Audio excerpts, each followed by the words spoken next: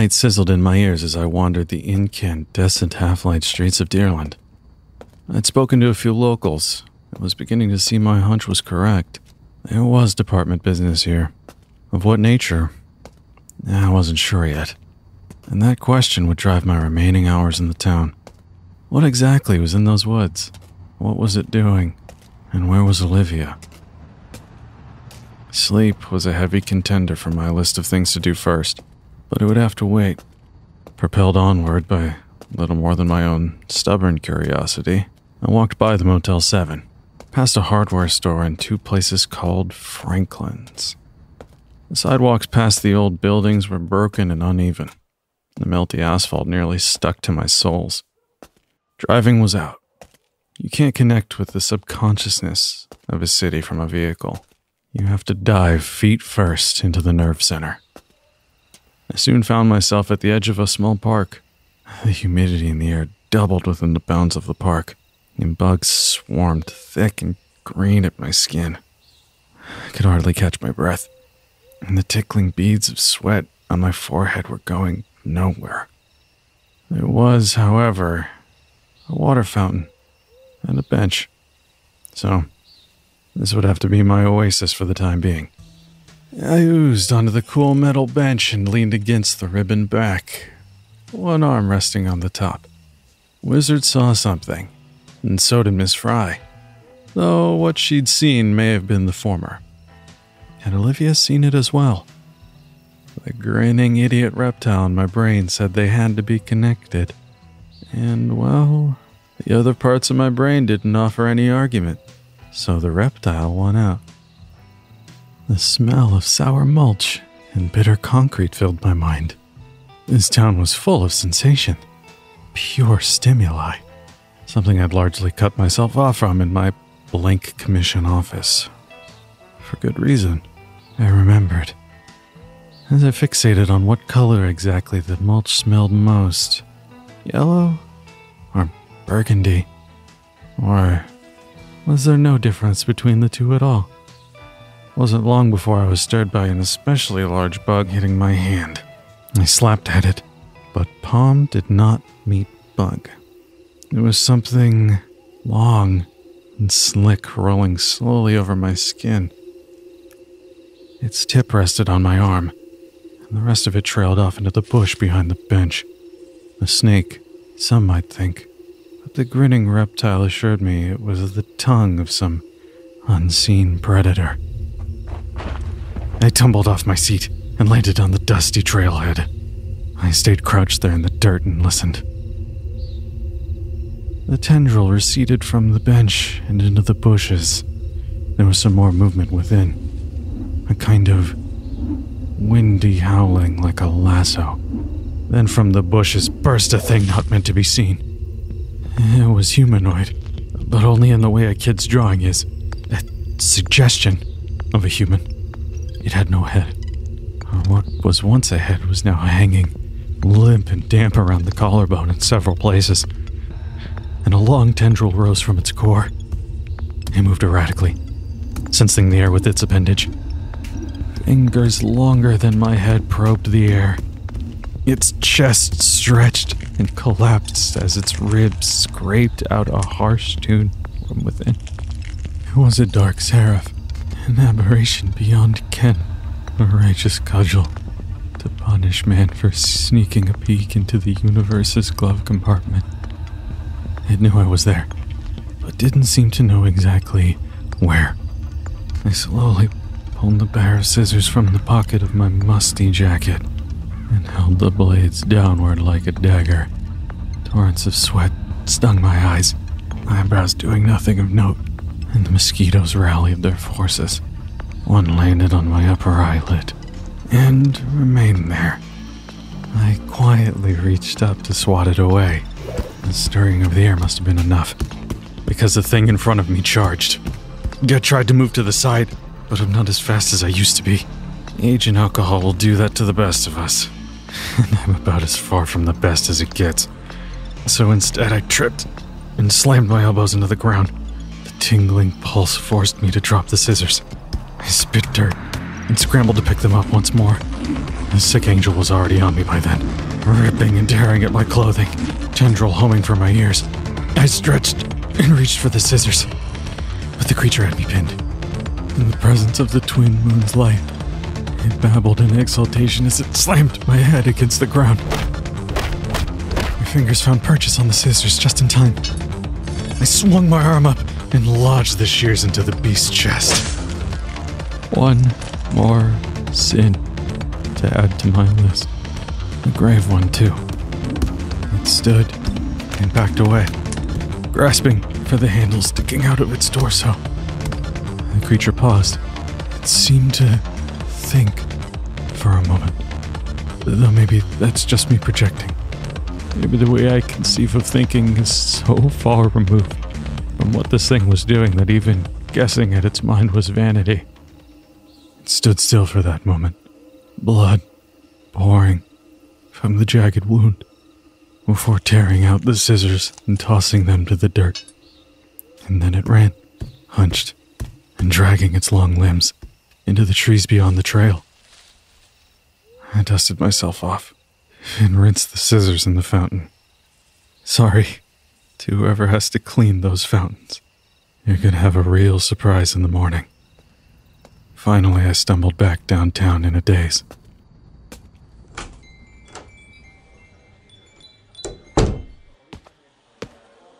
Welcome in. What can I get you? Doppio espresso. It's been a long night. Sheesh. Looks like it. You good? Uh, don't worry about it. Ain't my blood. Most of it, anyway. Uh, okay. Thank you much for staying open this late. Can I make an odd request? Go for it, I guess. I'd like the espresso on the rocks. Iced. To go. Iced espresso. Sure, we can do that. Thank you, thank you. I don't do hot drinks. Brain's like a computer. It's a cold logic machine. It generates heat when it works. Add in hot coffee, you've got all the ingredients for a meltdown. Never heard it put like that before, babe. But yeah, I guess you're right. Name? Orange. Huh. Bet you never find that on any keychains. Yeah. Yeah. Hey, do you got a sec? See, I'm looking for someone. The person on that tip jar, in fact. You know anything about her? Sorry, I already gave the cops my statement. I'm not a cop. Oh, are you family? Uh, no. I'm with the state of Ohio. A commission within the Department of Variance. Is that like zoning or something? Not quite. Do you believe in aliens, Miss Lena. Miss Lena? Ghosts, Bigfoot, pyrokinesis? Things that slink in the shadows. Things you could swear you saw when you were nine, hanging in the air across from your bunk bed. Uh, real Stephen King stuff. No, not really. Good. And you make sure it stays that way. So are you guys like the men in black or something? Uh, or something. I'm gonna guess you don't have a smoke I could bum. No, I'm trying to quit. Me too. God, it's awful. I just vape now. Vape? It's like a cigarette without the tar and stuff. Never tried it? Can't say I get out much. Here, check this out. It's disposable. Take it. I use these all the time. That's quite the heady blue drag. And you kids just suck on these things all day? What else is there to do here? Drink, take pills, shoot bottles off a fence? Downtown does look a little worse for wear. What about the state park? You're right on the edge. I don't. We don't really go out there. Not anymore. Not anymore? Some people have disappeared lately. Not just this Olivia girl. I'd I'd rather not talk about it. Do any of them come back different? Some. Some didn't come back at all. I think it's just trauma. The trauma of living here, of knowing you'll probably die here too. Unless you got money, you're not getting out. I spoke with one of those kids earlier. Went by Wizard. Yeah, I don't know him personally. Everyone all thought they skipped town. I would. But a week later, they found Wizard wandering out of the trees. Their eyes were huge and they had this this goo all over, all black and thick and broken glass, saying all this weird stuff. They used it in their lyrics, I guess, and there's this awful sound. I I think they heard it and they're trying to recreate it. That's about what they said, too. You know, it's weird. Why is it only us disappearing? Sorry?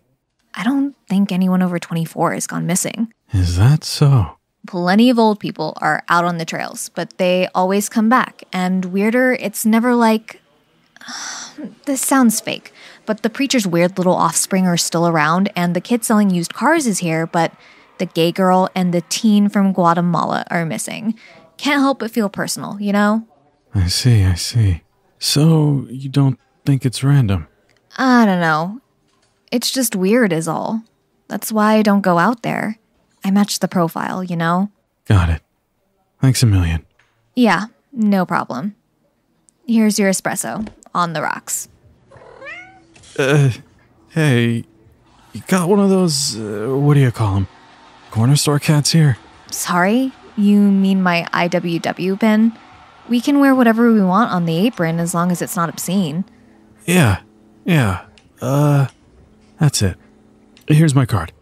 Give me a ring if you ever hear a bump in the night.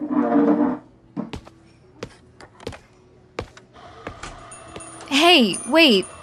This is just a blank card.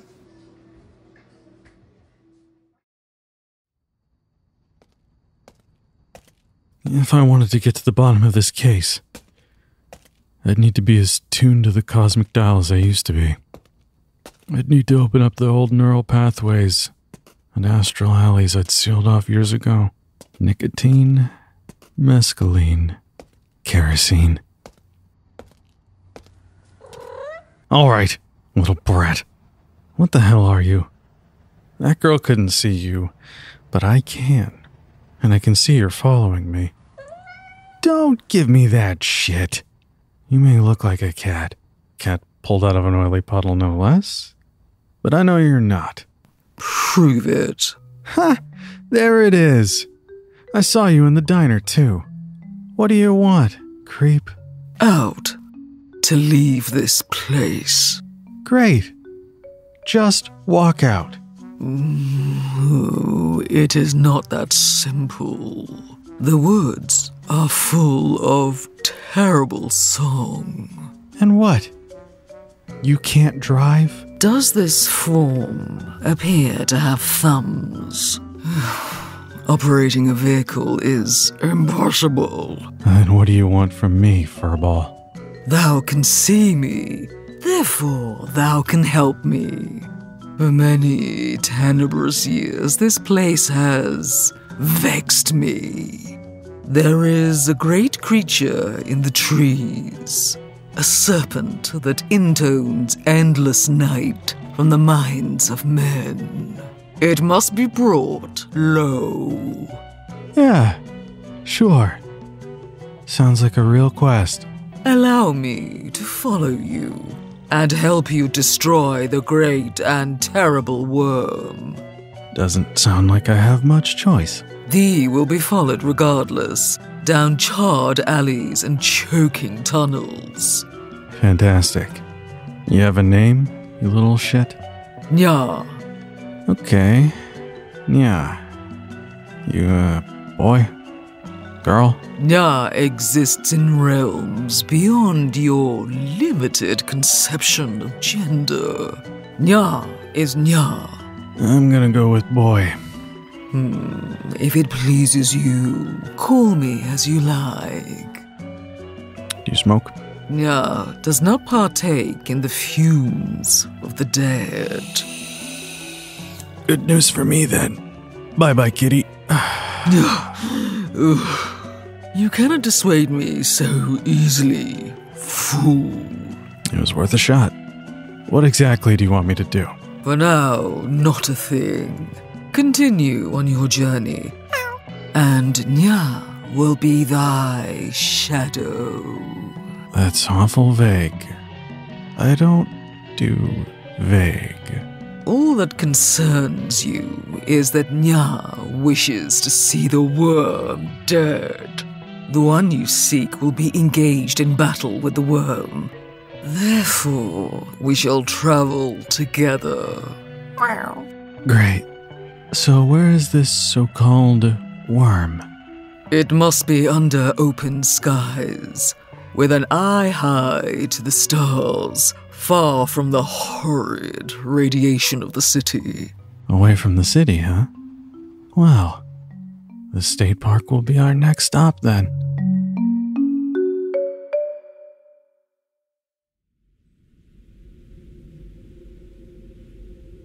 What the hell is the writhing? Alex was upright again after the incident with the heart crab, leaning heavily on Nadia's shoulder. Nadia, for her part, was doing the best they could to support her half foot taller friend. All three looked around the empty concourse, straining to see down the branching corridors sprouting off in each cardinal direction.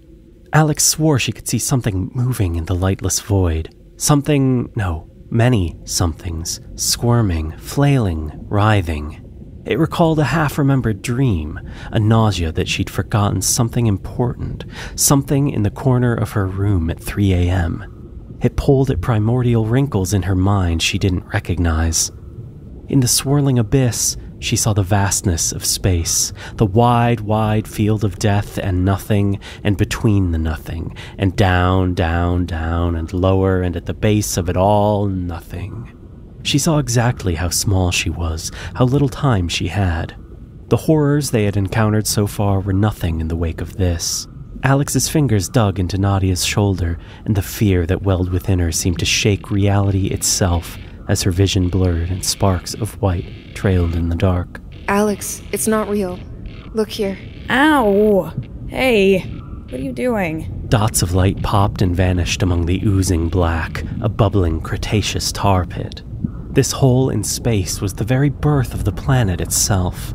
Titanic glacial movements and volcanic eruptions, life congealing in filthy puddles. And its end fish suffocating on shore, great beasts fallen, howling barren waste. Beneath it all, a sound. She shook her head, and the feeling was gone. I don't like any of this. Y- yeah.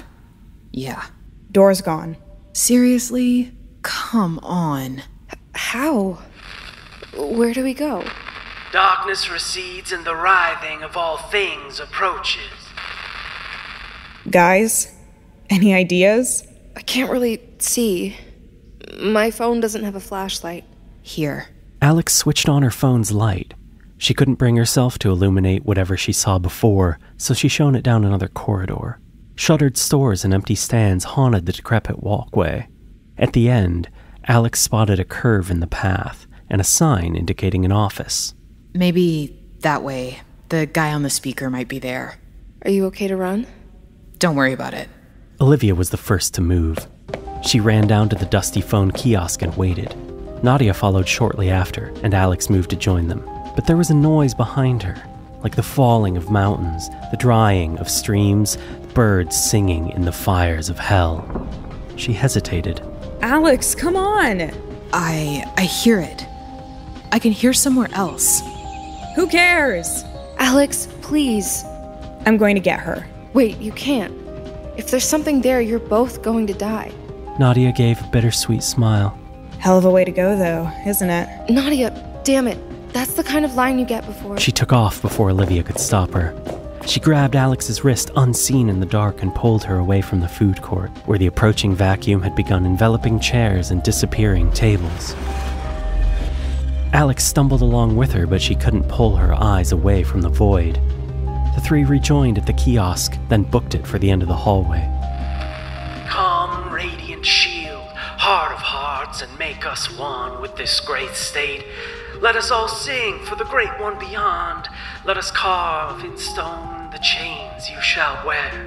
Expansion demands blood, so the plasm of heathens flow into our fields. You are the enemy. You are the shears that nip, that delay our tumescent growth. We would rather all young rot on the vine than bloom as your kind. Fiat justitia ruat caelum.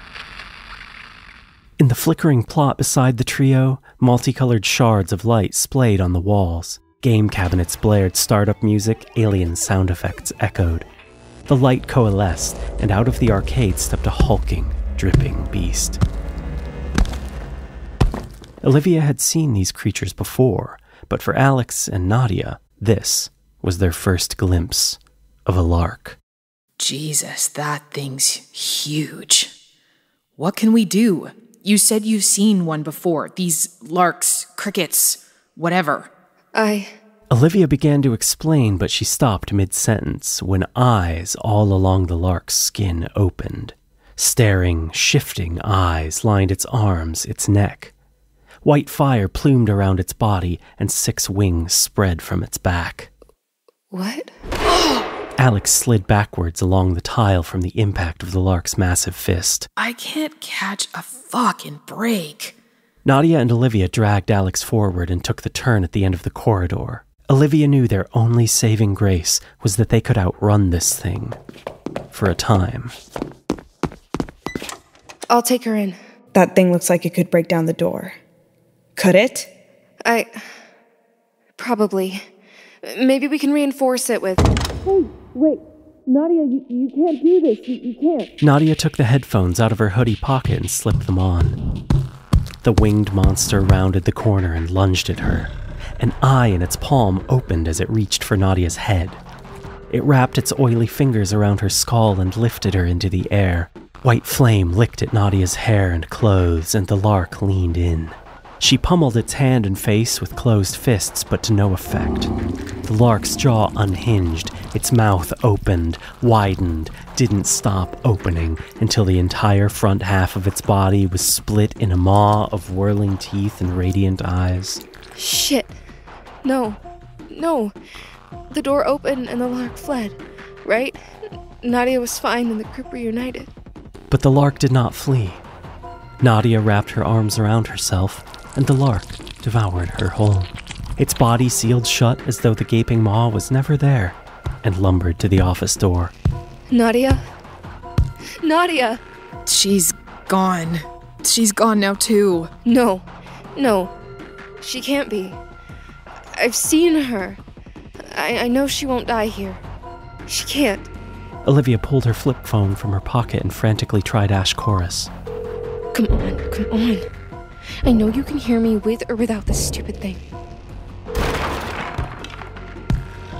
Just take me already, okay? I'm done. I can't do this anymore. First you took Daryl, and now you took Nadia. Take me and just fucking end it.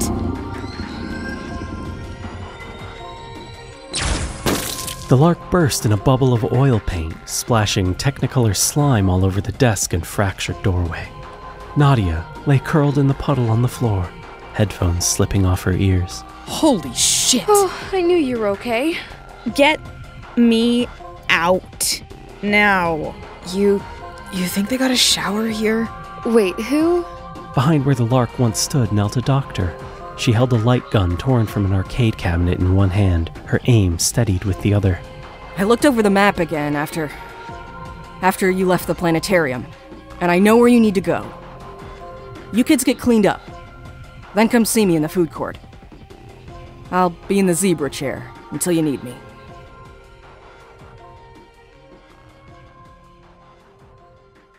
I think we did a decent job, all things considered. About as clean as the bathroom at D's. Ew. Don't they have a trough in there? Wouldn't be D's without a trough. Alex spit on the only clean corner of the rag she'd been using to wipe down Nadia. She dabbed at the last bit of paint on Nadia's cheek with the damp cloth. It's quiet. Do you think. I don't know for sure if we're safe or not, but I want to find the asshole on that mic and crush his head like a soda can. Hey, it looks like the speaker system's through that door. There's. There's no one here. Resting in front of the microphone was an old boombox. A tape warbled in its gears, and a sticky plug reached over to the wall outlet. Alex unplugged the boombox, and the Deerland Mall fell silent once more.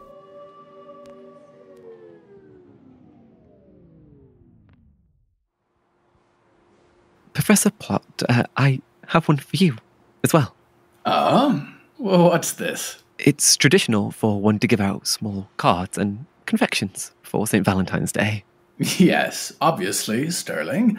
I don't live under a rock. I mean to ask rhetorically.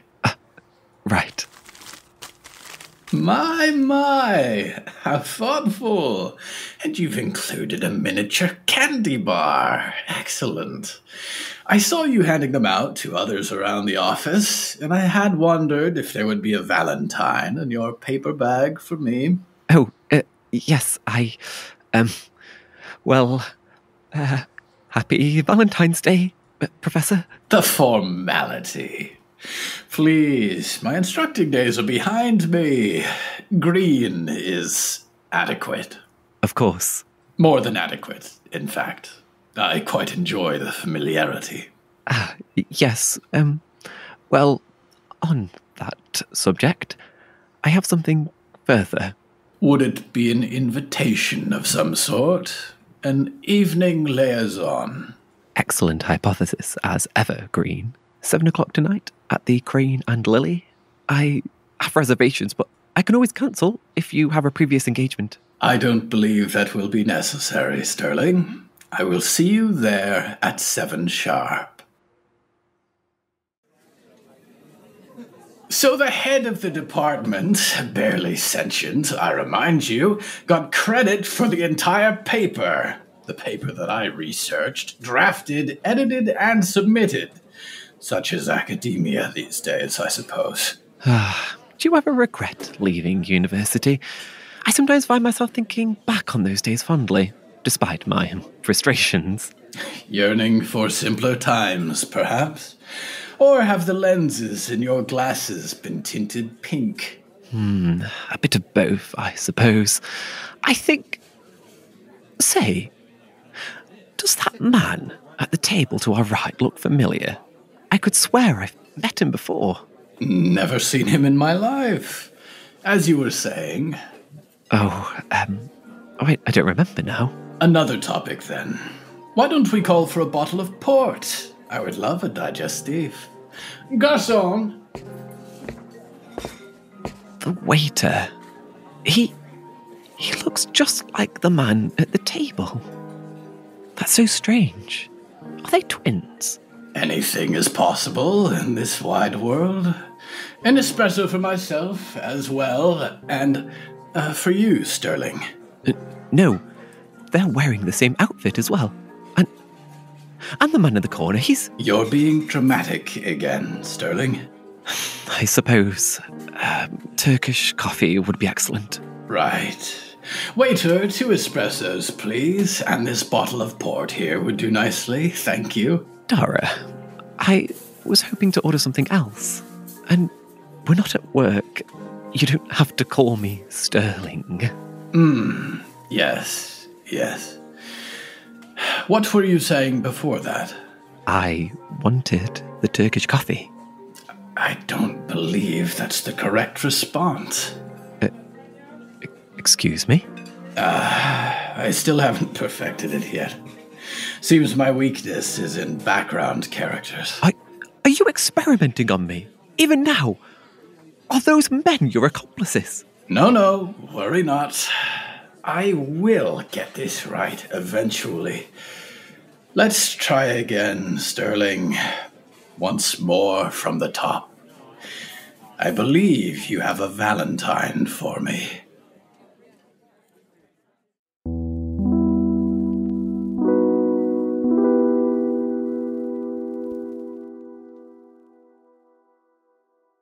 Hey everybody, it's creator Rat Grimes here. First, I just want to thank the cast of this episode Jess Syratt, Em Carlson, Tatiana Gefter, Rae Lundberg, Cody Heath, Maria Corcobado, Sean Pellington, William A. Wellman, and Lilly Chau. Next, I want to thank our $10 patrons Josh, Sam, Percy, Sirius, Danielle, Fortune Chaos, Starlight, Glitched Frost, Riley, Nolan, Tibbs, Patricia, and Gads. If you'd like your name in the credits like these fine folks, or if you just want to get next week's episode a week early, go over to patreon.com slash somewhereohio and sign up.